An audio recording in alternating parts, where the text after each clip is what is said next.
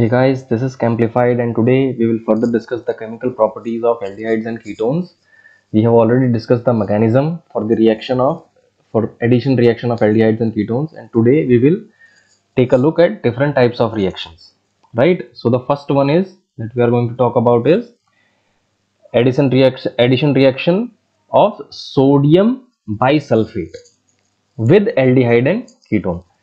So what let's read out the statement first aldehydes and methyl ketones react with saturated aqueous solution of sodium bisulfite that is NaHSO3 to form so solid addition compounds.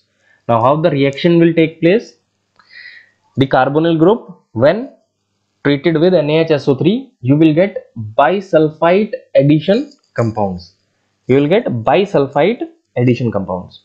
Now this is the general. This is the general reaction. Now let's take take a look at the example of aldehyde taking any example of aldehyde and ketone. So this is your acetaldehyde.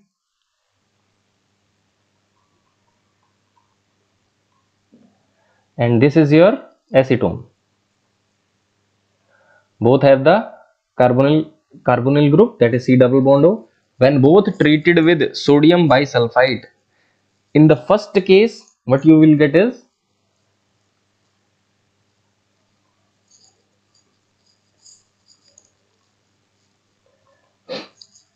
This will be your final product. Now the name of this compound is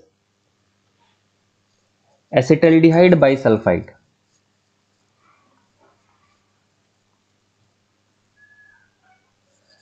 Acetaldehyde bisulfite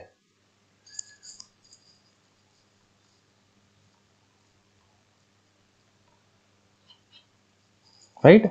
The second one is with ketone. When you treat when you treat NaHSO3 with ketone what you are going to get is you can write it really fast. In place of in place of this hydrogen in place of this hydrogen you will write CH3 and SO3Na will be there as it is. So this will be your acetone bisulfite.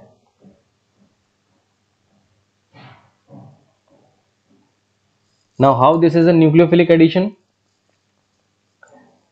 This molecule will be dissociated into HSO3 sorry. This molecule will be dissociated as NaSO3 negative plus H positive. Right? And this will attack the sorry attack the carbonyl carbon to give the desired product. Right? Let's just discuss the mechanism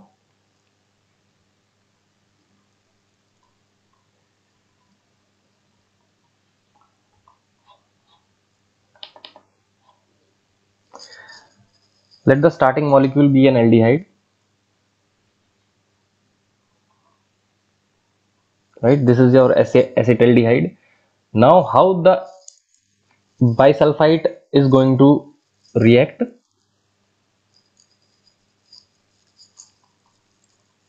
Now this is positive this is negative. It has lone pair of electron and there is a double bond. Right?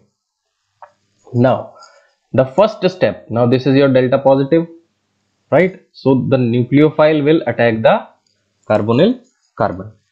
And you will get to you will get to have this intermediate.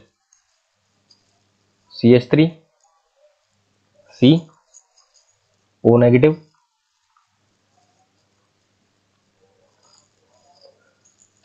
sorry double bond O and your Na sorry ONA right? Now what go what's going to happen is this bond will come to this side. The proton H plus will be released and this H plus will attack the oxygen. Right? And you will get the final product as you will get the final product as CH3 C?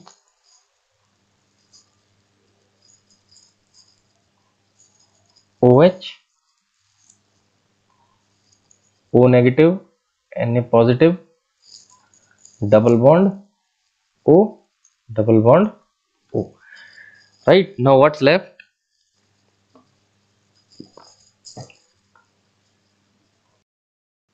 Is your hydrogen so this is your final product for bisulfite. And uh, this is this is written in elaborated way. You can write it as ch3 COH H SO3 Na these two are same.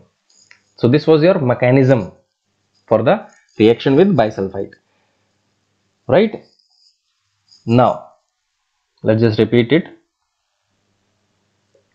addition reaction of sodium bisulfite you can treat the carbonyl carbon of aldehyde and ketone both to get bisulfite addition compound right?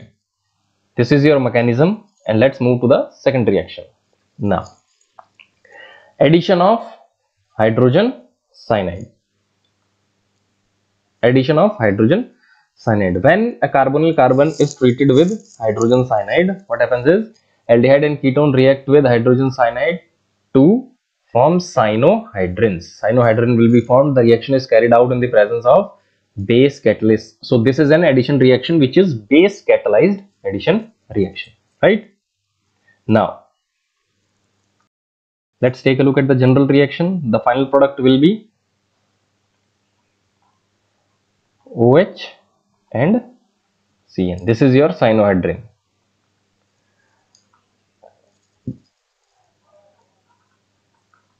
Right? Now when acetaldehyde is treated with hydrogen cyanide you will get CH3C OH H and CN the name of the compound will be acetaldehyde cyanohydrin.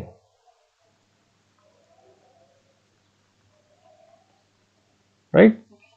Similarly when a ketone is treated with hydrogen cyanide you will get?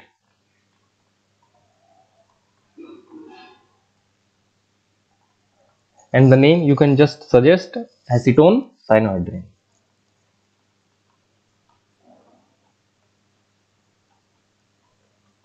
right? So this is the general reaction.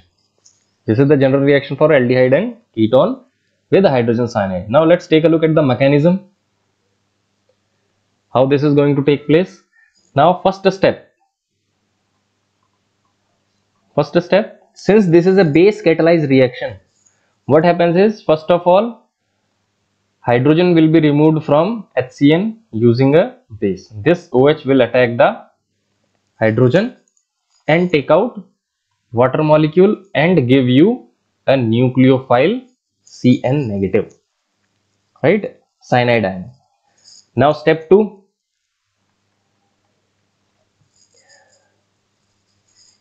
the carbonyl group is there. The carbonyl group is there. Now you have a nucleophile cyanide ion this is your delta positive carbon. This is your delta negative oxygen. The negative part will attack the positive carbon right? The negative part will attack the positive carbon. And you will get another intermediate.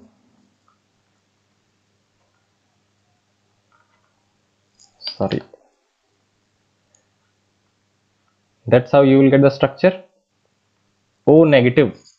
Why? Because as soon as the, uh, the nucleophile attacks the carbon the pi bonded electron will move towards the oxygen. Right? Now what will happen in the step 3 in step 3 the o the h plus ion in step 3 the h plus ion will come back at the oxygen atom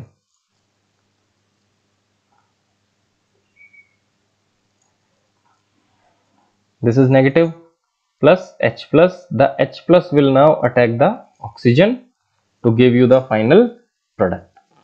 That is cyanohydrin.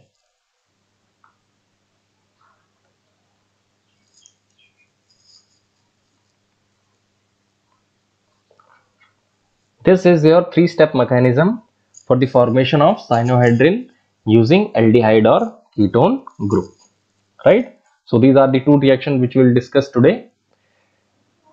This will be it for today's video. Thank you very much for watching.